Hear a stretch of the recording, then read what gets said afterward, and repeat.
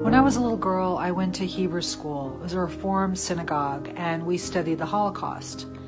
And you know, I was very upset. I remember asking my father, why? Why did the Germans do what they did?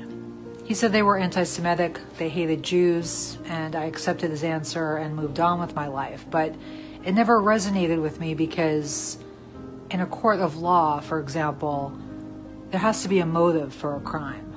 If you kill someone, there has to be a motive. Why did they do it? There's always a reason. The fact of the matter is, is that the truth is hidden.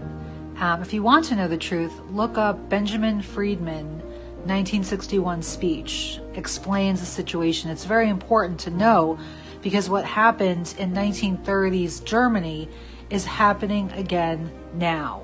Here's a brief summary. World War I was from 1914 to 1918. In 1916, Germany was totally winning and England was considering a surrender. However, Zionist Jews went to England and said, Don't surrender, you can still win.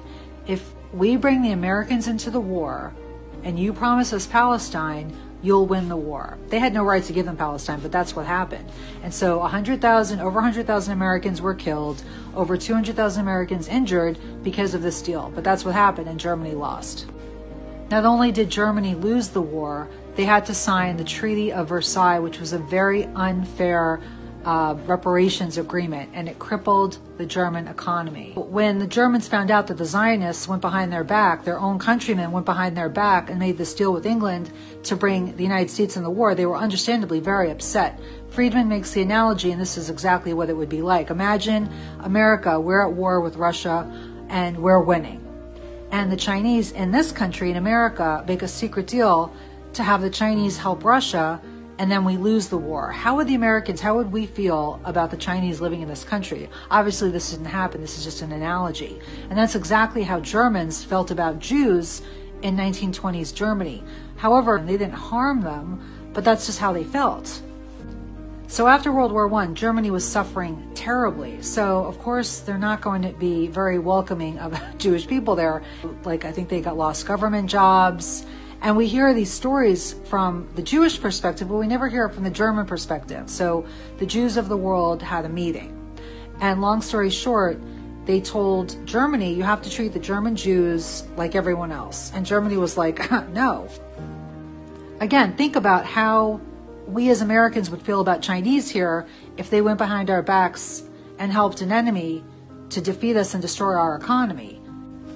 So in 1933, Germany the Jews of the world, the world Jewry, declared economic war on Germany. So the leader of Germany in the 1930s, his initials are AH, he did not initially want to Jewish people and the Germans too, they just wanted them to leave. And that's exactly what the Zionists wanted. So work together. And there's even a coin symbolizing this uh, called the Haavara Agreement and they helped German Jews and their belongings move to Palestine. But here's a question I did not understand even as a little girl. If the people who had the power to, to get Palestine had the kind of money and power to do that, didn't they have the money and power to stop what was happening to the Jews during World War II? Right? And it was because they, the Zionists, were completely focused on establishing Israel. They didn't they didn't care about what was happening to the Jews in the concentration camps. So, fast forward to 2023, and we are witnessing the horrific bombing of Gaza. And understandably, people are speaking out. They're protesting, they're posting on social media.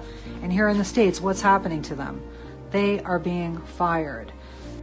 So, in the exact same way, Zionists lit a fire in Germany to get the German Jews to go to Palestine, the Zionists are doing the same exact thing in the United States right now.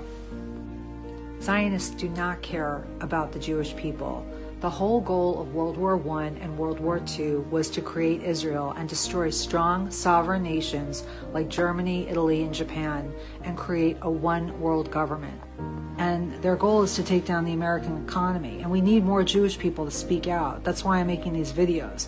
We've been lied to about our history. You need to relearn everything and speak out because of the way that they look at the Gentiles. And if you read the Talmud, you'll know what I'm talking about. Jews have to speak out en masse. It's the only thing that's going to stop this.